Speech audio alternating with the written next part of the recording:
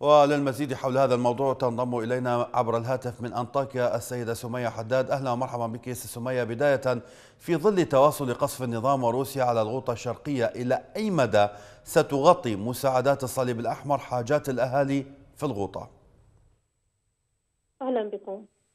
بداية بما يخص القصف المتواصل فهو لم يتوقف حتى الآن. وصلنا الآن أن هناك قافلة دخلت إلى دوما. لاستكمال تفريغ آه، الشاحنات التي لم يتم تفريغها في المرة السابقة نتيجة القصف الذي تعرضت له المنطقة أثناء وجود قافلة مساعدات إنسانية داخل دوما. فكما نعلم جميعا دخلت قرابة 46 شاحنة آه، تم إفراغ ثلاثة منها من محتوياتها الطبية ومن ثم تم خروجها قبل إفراغ حمولتها والتي بلغت حوالي عشر شاحنات لم يتم إفراغها من المعروف أو صرح الصليب الأحمر في ذلك اليوم أن القافلة التي دخلت تكفي احتياج 27500 بحساب بسيط نجد أن ما تم إفراغه في ذلك اليوم لا يكفي 20000 من مجمل سكان الغوطة.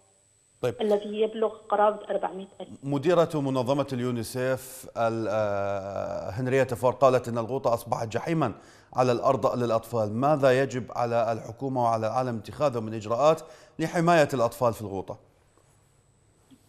الحقيقة الغوطة باتت جحيما للجميع الأطفال والنساء والرجال.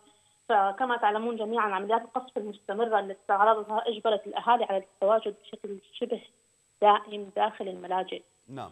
هذه الأمور آه، انعكست طبعا على الأطفال وغيرهم آه، بالإضافة إن عمل يعني في تقريبا منذ صدور قرار مجلس الأمن 24 آه، شباط حتى الآن وثقنا بالاسم مقتل قرابه 65 طفلا. وبالتالي وهم موجودون داخل الملاجئ. اليوم المستشفيات هنالك تقصف وبحاجة المدينة لمساعدات طبية. أيضا المنظمات الدولية تمنع من الدخول آه، بهذه المساعدات إلى المنطقة. ما هو البديل لهذه المنظمات برأيكم؟ لا يوجد بديل حاليا. طيب. لا يوجد بديل. الشافي جزء كبير منها خرج عن الخدمة. الكوادر الطبية تحاول أن تقوم على معالجة ضحايا القصف بما توفر لديها من إمكانيات وب يعني طرق بعيدة عن المهنية لكنها ما هذا المتوفر لديهم.